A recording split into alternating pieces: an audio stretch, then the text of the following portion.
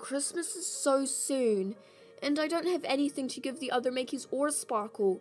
They didn't even tell me what they wanted. Huh Maybe I shouldn't just buy them anything.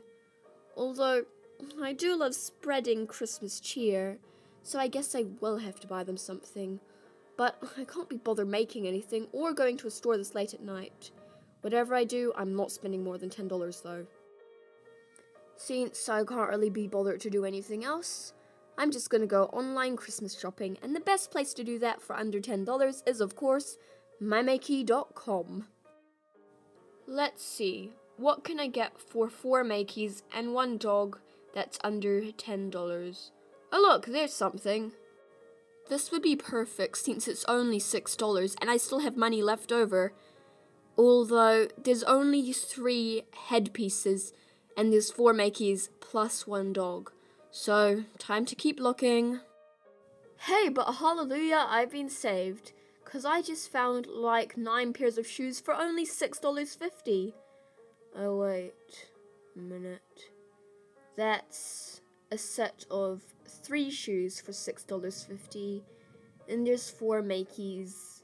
And I don't think a dog can wear human shoes. Next again. Earrings! These are perfect because Starling, Poppet, and Tree Elfa all have their ears pierced. But then what could I get Hax and Sparkle? Neither of them have their ears pierced.